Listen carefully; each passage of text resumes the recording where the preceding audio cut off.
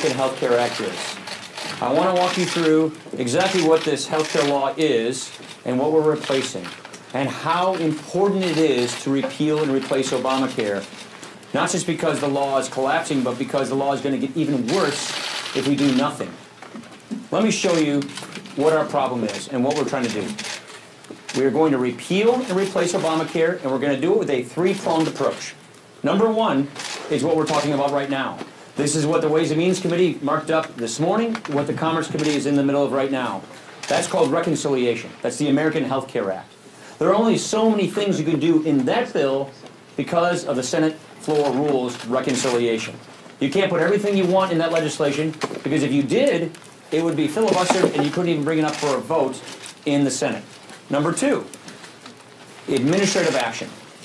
This law, Obamacare, has 1,442 sections or instances that gives the Secretary of HHS enormous amounts of discretion to administer health care. Meaning, I don't think Barack Obama, Nancy Pelosi, and Harry Reid, when they crammed this bill through, ever thought Donald Trump would be president and Tom Price would be the Secretary of HHS.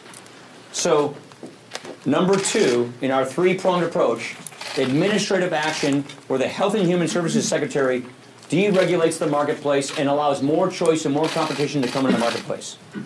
Number three, and this is where I think there's a lot of confusion all over the map.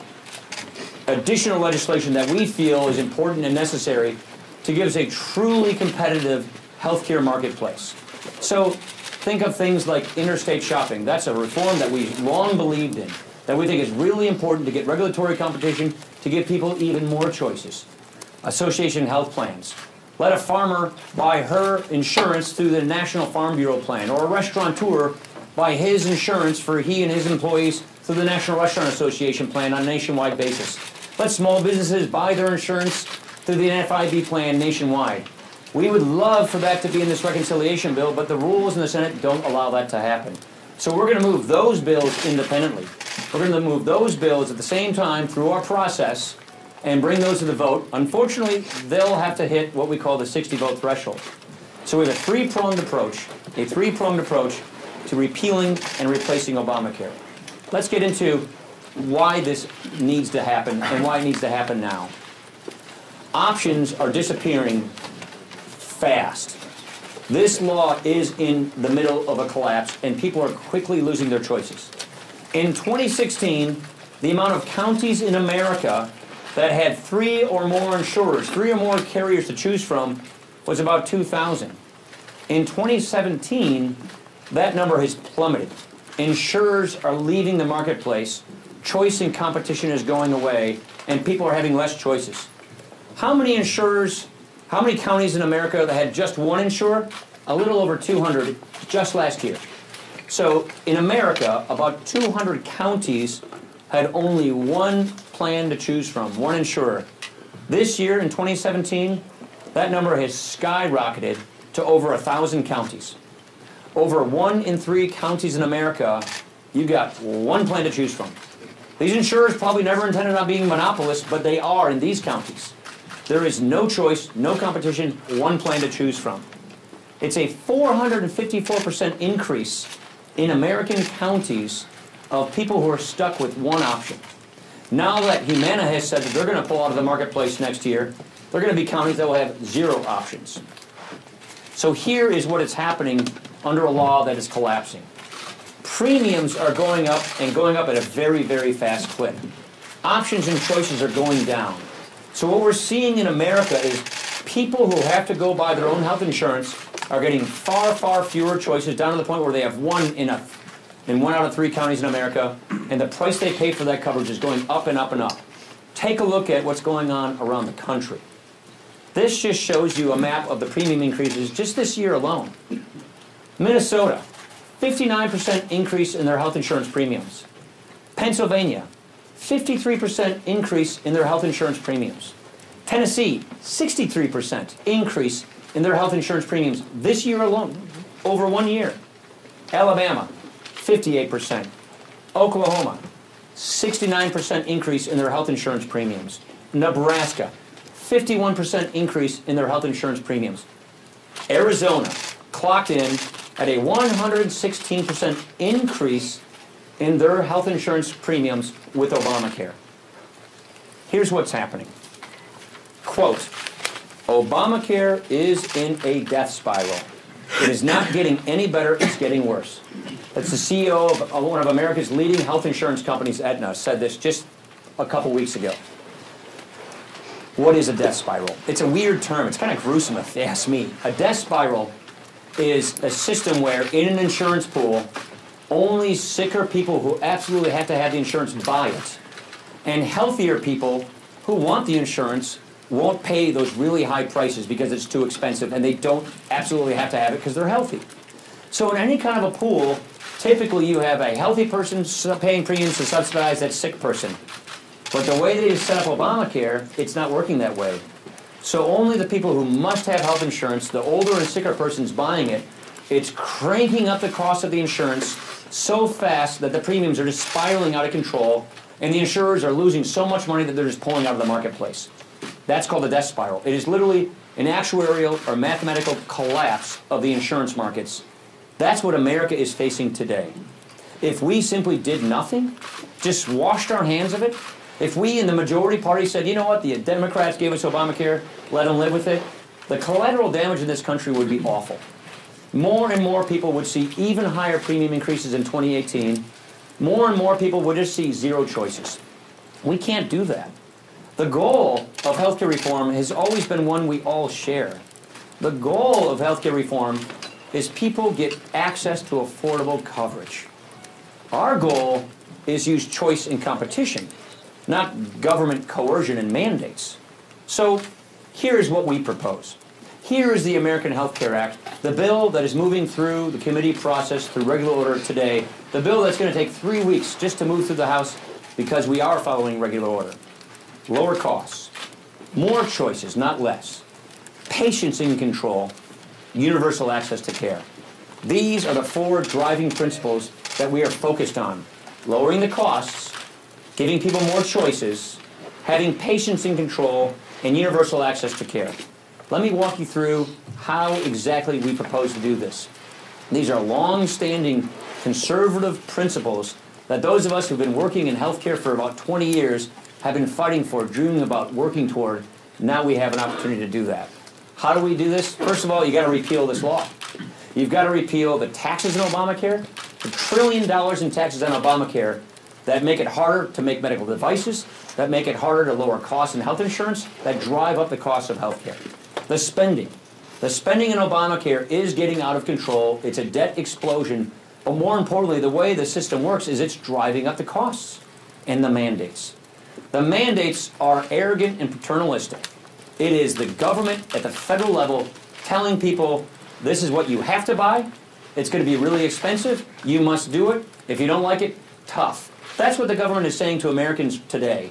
So we get rid of the taxes, we get rid of the spending, we get rid of the mandates. The key thing that a lot of people want to know, when I do my listening sessions, when I talk to people with various disease advocacy groups, is they just want to know that when we pass this, the next day they're not going to lose their health insurance. That's not going to happen.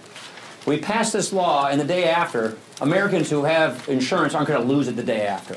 We need to have a stable transition to conservative health care reform, and that's what we're doing so that we do not pull the rug out from anybody who is enjoying some kind of coverage they have today. So we want to have a stable transition. And a, a few of the points that I think are really important to just bring peace in mind to Americans who are concerned about all that's going on here is we want to protect people with pre-existing conditions. We think that that's very important. That has actually been a cornerstone of Republican health care proposals all along. In 2009, I, along with Congressman Devin Nunes, Senator Tom Coburn, and Richard Burr offered the Patient's Choice Act. It was one of our alternatives to Obamacare.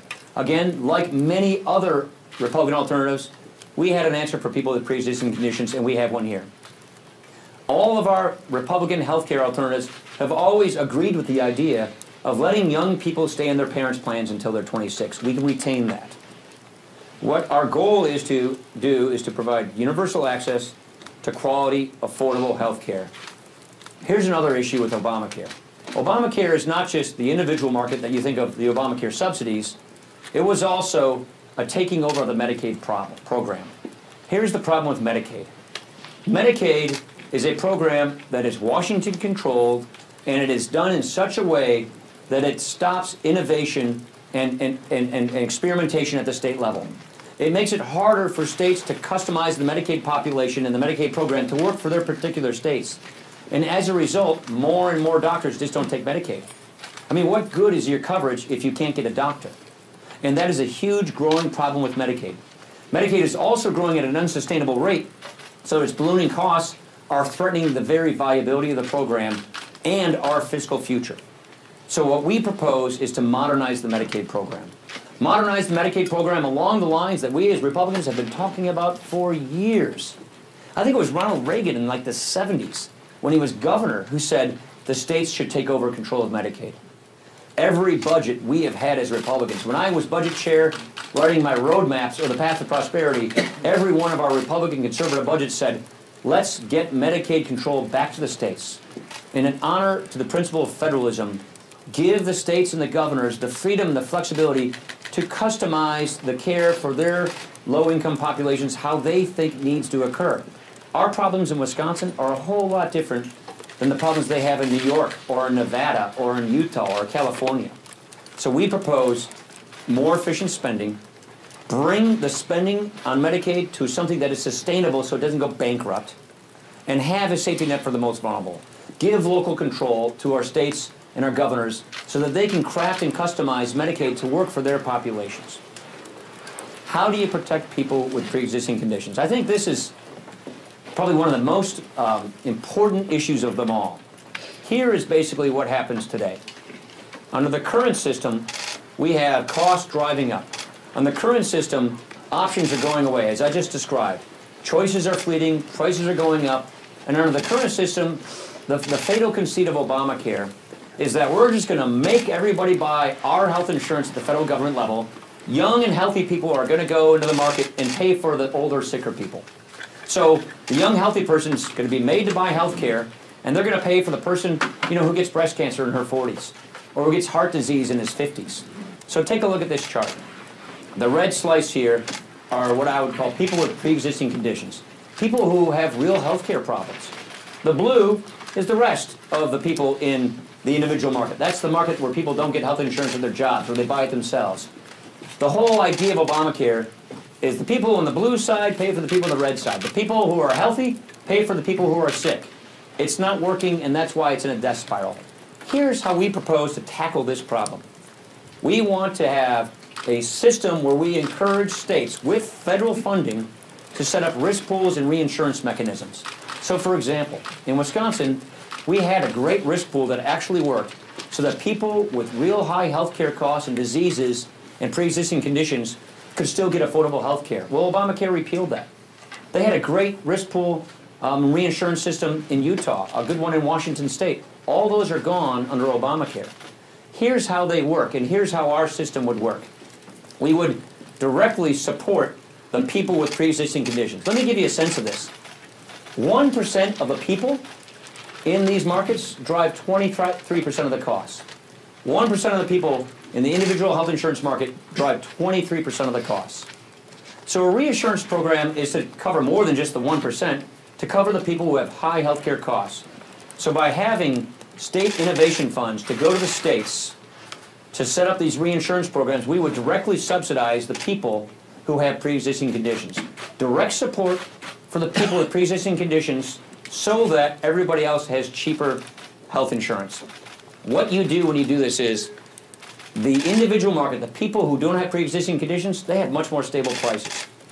Let me give you an example. Uh, take a small business that has 40 employees.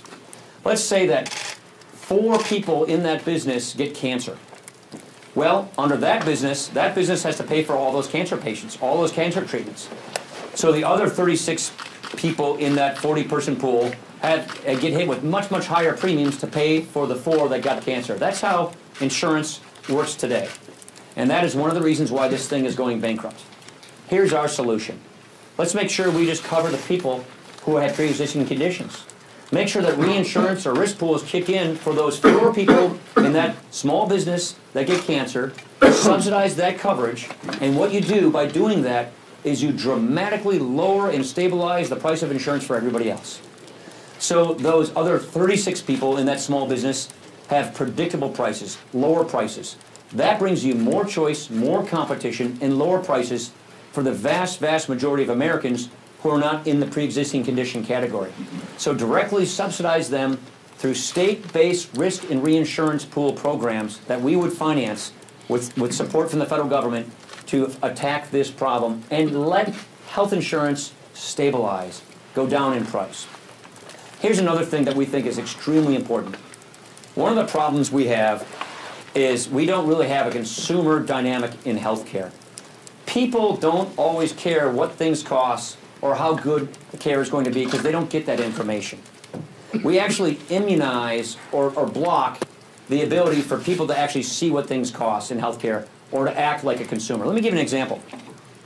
Jana and I have three kids. They're 33 months apart. Uh, we call them Irish triplets. Our three kids had three tonsillectomies over the course of three years in Janesville, Wisconsin from the same ENT at the same hospital. At each one of these times, I tried to find out, what's this tonsillectomy going to cost? Never could I get that answer to that question. I only found out what it cost months after those procedures when I got various bills from the ENT, the ear, nose, and throat doctor, from the anesthesiologist, from the hospital. And the variation of price between those three procedures from the same doctor in the same hospital within three years was huge.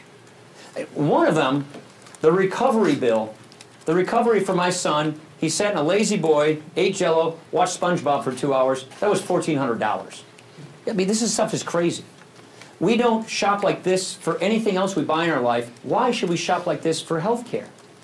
And so what health savings accounts achieves, this is the law that I helped write in 2003, something that we as conservatives have been fighting for for the whole time, is we want to increase health savings accounts, which is what we do in this bill, so we have more competition and lower costs. Here's the point I'm trying to make. In 2000, I got LASIK surgery. The reason I can see you all so well is because in 2000 I got this LASIK surgery, which was elective. Insurance didn't cover it. And so I knew exactly what the procedure was going to cost up front. And since then, this excimer laser that does this procedure has been revolutionized three times, and the price is lower. So in this area of healthcare, quality went up and costs went down because I cared as a consumer what it was. So it's not that that dynamic cannot happen in healthcare, it's that it isn't happening throughout most of healthcare.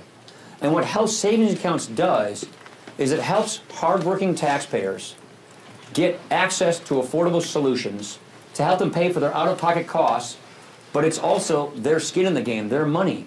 If they save money by saying to a hospital or a doctor or a healthcare provider, what is this going to cost me? Where's the best value for my money? If we can bring that consumer pressure to bear in healthcare, we can dramatically enlist the support of millions of Americans to help us fix this healthcare problem. And that's one of the critical things we're trying to achieve here. Instead of using OPM, other people's money, to pay for healthcare that you don't care what things cost, we want to harness the power of the marketplace, the power of the consumer, of the patient and the doctor, to demand better services, to demand better quality. We want transparency on price, on quality, and an economic incentive to act on that thing so that we can bring consumers to the bear. This is what we say, this is what we mean when we say we want a patient healthcare system. Okay, here is a really important part of our American Healthcare Act, refundable tax credits. I want to explain exactly what we mean when we say this. Under the current Obamacare system, we have a Washington-controlled system with skyrocketing premiums and dwindling choices. It's a death spiral, it's collapsing, Government makes you buy what you want to buy, and it's an open-ended subsidy for a lot of Americans. Our solution is a portable monthly tax credit. This is why we believe this is the right way to go. We want a market-based system which will give us lower costs, more competition, and more choices. There's a real problem in the tax code today in that the tax code discriminates against people who don't get health care from their job. If you're working and you're not on Medicaid, and you have a job that's paying you 10, 12, 15 bucks an hour, and that job does not give you health insurance, there's nothing that the tax code does to help you buy health insurance. If you do have health care from your job, you have an open-ended tax benefit. So what we're saying is that's really kind of not fair to the, to the man or woman who's working at a job that doesn't get health insurance offered to them let's equalize the tax treatment of health care and give people the same kind of tax benefit to go buy health insurance if they don't get it from their job. And giving a person a monthly a, a portable tax credit gives them the ability up front to go buy health insurance of their choosing. And here's the key you buy what you want to buy. If you don't want to use your tax credit to go buy health insurance, you don't have to. If you don't want to buy this plan, you want to buy that plan, go for it. It's your choice, it's freedom. It's called free market health care. The states get to set up their own health insurance systems, the states get to set up their own regulations so you can buy whatever you want to buy where you live. That is called patient's choice. That is called a patient centered system. And that is one of the biggest tools we believe can be used to replace Obamacare. This is part of replacing Obamacare with a system that works to give everybody universal access to affordable coverage. Now, here is where we stand. The current system is riddled with endless regulations that are driving up costs and limiting choices for consumers, and you see how the collapse is occurring. Our solution greater consumer options. The patient is the nucleus of the healthcare system. We don't want insurance companies becoming monopolies looking for favoritism in a cronyistic way at Washington. We want health insurers, hospitals, doctors, all providers of healthcare benefits competing against each other for our business as consumers. That is how the great American free enterprise system works in all other aspects of our lives and our economy. That's what should work in this system as well. So the result, you choose the plan that meets your needs. You buy what you want to buy, not what the government tells you to buy. So our goal here is final as this. Lower costs, more choices, patients in control, universal access to care. Um, there are two points I would make in conclusion. We as Republicans have been waiting seven years to do this. We as Republicans who fought the creation of this law and accurately predicted that it would not work ran for office in 2010, in 2012, in 2014, and in 2016 on a promise that we would, if given the ability, we would repeal and replace this law. How many people running for Congress and the Senate did you hear say that? How many times did you hear President Donald Trump, when he was candidate Donald Trump, say that? This is the closest we will ever get to repealing and replacing Obamacare. The time is here, the time is now. This is the moment, and this is the closest this will ever happen. It really comes down to a binary choice. We now have the ability, through the budget rules that we have in the Senate, with our three pronged approach, to actually make good on our word. We told people in 2016 what it would look like when we had the chance to replace Obamacare. That was our Better Way plan. That's what this is. So we said in 2016 to our citizens, to the American people, to our constituents, if you give us this chance, this opportunity, this is what we will do. Now is our chance and our opportunity to do it. Questions? Chad. Thank you, Mr. Speaker. You say this is a binary choice. Uh, a two-part question here. Why would somebody not believe this is take it or leave it when you hear from members of the Freedom Caucus and conservatives say take your bill or, or change it? And number two, when the uh, Democrats approved cap and trade in the summer of 2009, there was much criticism of a manager's amendment, which was put in at the end to, to make that bill ripe for passage on the floor. When we hear these criticisms from Republicans, why would we expect something like that not to emerge in this case to make that bill okay uh, to pass and get their votes? So I, I would answer it in this way. Uh, what people are talking about, and there's a lot of frustration, a lot of confusion, frankly, out there um, among conservative groups and, and even among members, is reconciliation has certain limits. So there are folks who would love to see us put in this reconciliation bill all these other ideas. One conservative group is saying, by golly, you better put uh, shopping across state lines in this bill or we're not going to support it. Guess what, Chad? If we did that, we wouldn't be able to pass this bill. It would be filibustered in the Senate. It wouldn't even come up for a vote. So the last thing we want to do is prevent our ability to actually get law made. So it really is a conversation about the third prong approach. The other bills we're going to pass outside of reconciliation, which in the House we're a majority body, we can pass, that go to the Senate. So much of the conversations are about moving this other agenda on the same track uh, around the same time to get these things done. The, the last point is, as you know the process, but a lot of people don't, we're going through four different committees. That's how legislation works through regular order. We just did the Ways and Means Committee last night. We're in the middle of the Commerce Committee. Next week it goes to the Budget Committee, and then it goes to the Rules Committee before it goes to the House floor. The bill will be out there for three weeks to be looked at. Go to readthebill.gop. It's a 123 page bill. It's not 2,000 pages of something that they just whipped together and flipped to the floor like they did. They didn't. We didn't write it in Harry Reid's office on Christmas Eve. This was written by our committees. And let's back up a second even further. This bill has been worked on for a year. This bill was worked on from January to June last year so that we could offer our constituents and the American people in our Better Way agenda what we would replace Obamacare with. We offered it up in June, we ran on it all through the election, and now we've translated it into legislation. And even backing up further, these two key components, block granting Medicaid back to the states, defederalizing an entitlement, putting a cap on it, that is something that conservatives have been talking about and dreaming about for decades. and repealing another entitlement, Obamacare, its mandates, its subsidies, its taxes, and replacing it with Republican free market healthcare tax policy, if you told me two, ten years ago this is where we would be, I'd, I'd think I'd be in a dream. I'd be doing backflips. To conservatives who've been fighting for healthcare reform, this is so exciting.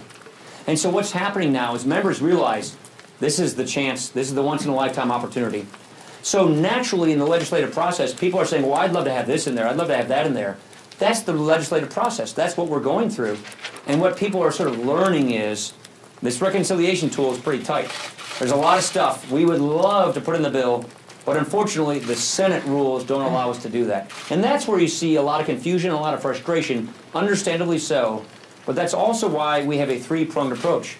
Administrative actions by Tom Price at HHS, and the additional legislation that we're going to move as well. And so just to clarify, not to belabor the point, so you're saying that this bill was crafted in a way that would meet the reconciliation Byrd test in the Senate? Correct. Ergo, there couldn't be much change to this and you excluded Correct. the other options? Yeah, So so- so there's not, so not many changes Well, we'll this see, bill? we'll see what, what, what we have to do when, when we get our score, because as you know, you don't, when you go to authorizing committees, you typically don't go with your score already. When we get our score, I'm sure we'll probably have to make some tweaks and adjustments. That happens every time we do reconciliation. But yes, this is written, this bill is written so that, it's called privileged. This bill is written so that it can't be filibustered, so that they have to bring it up and vote on it in the Senate. And if we put things in this bill that take that privilege off of it, so that it's not reconciliation, they won't even vote on it. They will filibuster it and they won't even vote on it. So that's what I mean when I say this is the closest we've been to repealing and replacing Obamacare. And let me just say it again. This is the closest we will ever get to repealing and replacing Obamacare. Yeah. Mr. Speaker, how did you come up with the amount that you would give out in tax credits? And why should a family that makes $140,000 a year get the same amount as a family that makes $40,000? It's a really good question. So, uh, the amount of the tax credits is based upon um, the way insurance works. And it's modeled after the Tom Price legislation, uh, which he had last year, which is adjust for age and family size.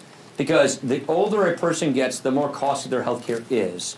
That's how insurance is written. So the tax credit adjusts more tax credit for the person's age. And obviously, if you have a bigger family, you have more healthcare costs, so a bigger tax credit. Now, why is the cap set where it is? And that's something, by the way, uh, 12 members of the Freedom Caucus, for example, were co sponsors of the Price legislation just last December, which is this kind of a tax credit situation. A lot of our members, through our feedback, we had seven member listening sessions in February, uh, four um, conferences, getting feedback from our members on this draft of this legislation, getting their ideas. And one of the, the concerns was we should cap this credit. So, like a millionaire that doesn't get health care from their work, but as a millionaire doesn't get a tax credit. So, that was something that everybody agreed with, and the Ways and Means Committee made that adjustment. But the reason it's set where it is is we don't want to have a job penalty. Go back a few years ago, and when CBO said Obamacare produces job lock, Obamacare says that the equivalent of two to three million people will not go into the workforce, will not take jobs because of the way the Obamacare subsidies work. What I mean when I say that is, if you set that credit limit too low and a person loses their credit, by getting a raise or, or, or advancing in life, you don't want to dis, disincentivize that. So they're set at such a level that that wouldn't occur. But they're set at such a level so that it really is for a middle income family or even an upper middle income family, so that we never tell a person, don't take that raise, don't get that job, don't take that promotion. We don't want federal tax law or tax credits to ever encourage a person not to advance, not to take a job, not to, to get a raise. That's Well, why. where's the $2,000 figure come from? Let me, let me go in the back. Uh, Kayla Tausche, CNBC. You'll need companies on board to provide the optionality that you're talking about. And almost every industry organization has come out against this. The reason why there isn't as much participation as customers might like is because these companies can't offer these products and still make money. Yeah. How do you get It's- buy-in it's a- from the business community? It's a great example. Here's what people are not seeing, which is number two. Uh, Tom Price, for legal reasons, can't tell you what he's thinking about doing. There's, there's, there's laws that prevent that. We can do so much deregulation through the executive branch by the Secretary of Health and Human Services. He actually just put one regulation out the other day, which will go a long ways toward lowering the cost of health insurance. So they haven't even seen yet what our Secretary at HHS can do in, in number two, in, in- in, in phase two here, where they actually can dramatically lower the price of health insurance. So those companies haven't seen that yet. So there are no concessions So let me just finish, state? let me, don't, don't interrupt if you don't mind. Um, here's the other point. We have basically a few options in front of us. Number one, do nothing, let the system collapse. What the insurers are telling us is, if you thought a twenty-five percent average premium increase was rough in twenty seventeen, it's gonna be a whole lot more th- of, than that in twenty eighteen, and more and more insurers are gonna pull out. So the insurers are telling us, if we don't know what's going on come late spring, we're going to have massive premium increases and pullouts, and you'll collapse the individual market. What they also tell us, though, is if you only repeal the law, just gut and repeal the law, as some folks are suggesting, then you'll have triple-digit premium increases, and you'll collapse the individual market. You got to remember, if we just repeal Obamacare, it's not like life in the world goes back to life before Obamacare. Obamacare did so much damage to the U.S. health insurance system that it's not as if you can just go back to the day before. So that's why we are offering a better way. That's why we're offering the American Health Care Act.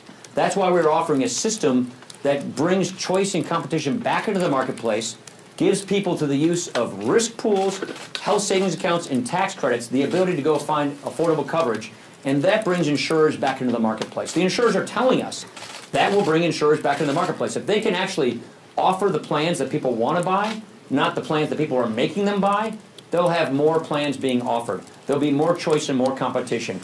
That is what brings down costs. And in conjunction with all the administrative things that Tom Price can do, those efforts together can help dramatically save our system and give us low-cost health insurance, better quality health insurance, and access to affordable health insurance. Don't forget how all this works together. Subsidize the sick and the pre-existing condition through risk pools and reinsurance. Health savings accounts to bring the consumer in the marketplace, to put pressure on providers to compete for our business based on cost and quality. And then give families who have jobs but don't have the kind of jobs that gives them health insurance benefits the same kind of tax benefit everybody else gets. So they too, at the beginning of the year, at the beginning of the month, can go buy a plan that best meets their needs. That is how you fix and save the system from the crash that it is, it is occurring. And we're very, very confident that will work that way.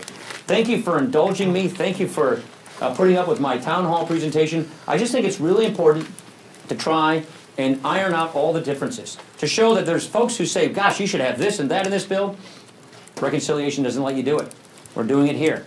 People who say, well, these regulations are so expensive and so costly. Tom Price at HHS can fix those things. We can fix this problem. We promised the American people we would fix this problem. And the way to fix this problem is to repeal Obamacare and replace it with a patient-centered, market-based system. This is something that we as conservatives have been